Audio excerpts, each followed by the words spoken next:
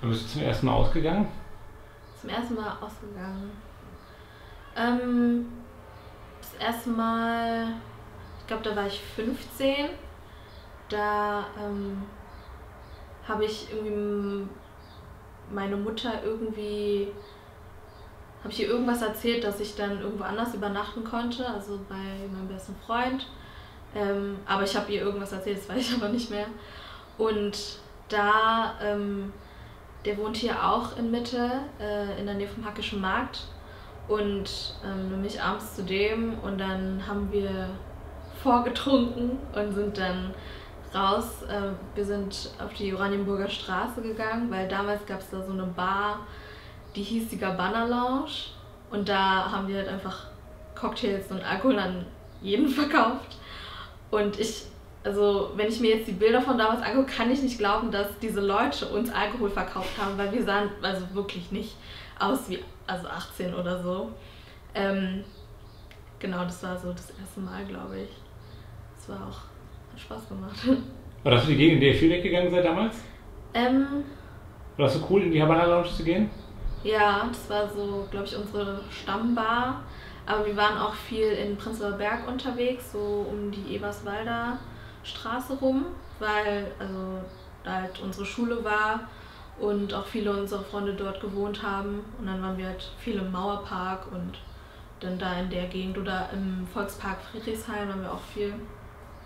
Ich glaube, früher als Teenagerin viel in Parks immer rumgehangen. Mhm.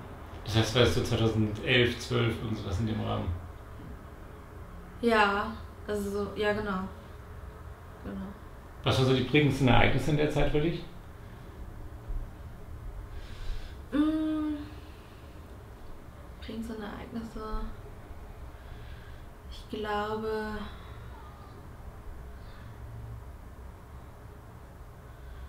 Weiß nicht, also hm, die Zeit, da habe ich eigentlich fast nur so Erinnerungen oder an die Schule. Also wir hatten eine Englandfahrt in der 10. Klasse, die, es waren zwei Wochen mit dem ganzen Jahrgang in England und da, ähm, ich glaube, die Zeit war einfach, es hat super viel Spaß gemacht, es war total die schöne Klassenfahrt, weil wir auch nie sonst woanders hingefahren sind.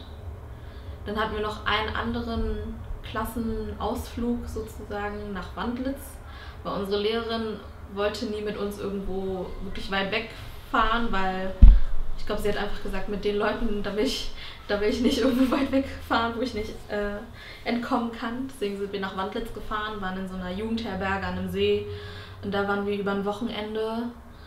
Und ich glaube, unsere Lehrerin ist dann nach dem ersten Tag weggefahren und dann waren halt nur noch so ein paar Eltern von irgendwelchen Schülern, Mitschülern dort und die haben uns machen lassen, was wir wollten. Ich glaube, dieses Wochenende war auch ähm, eine schöne Erinnerung und auch prägend auf eine Art.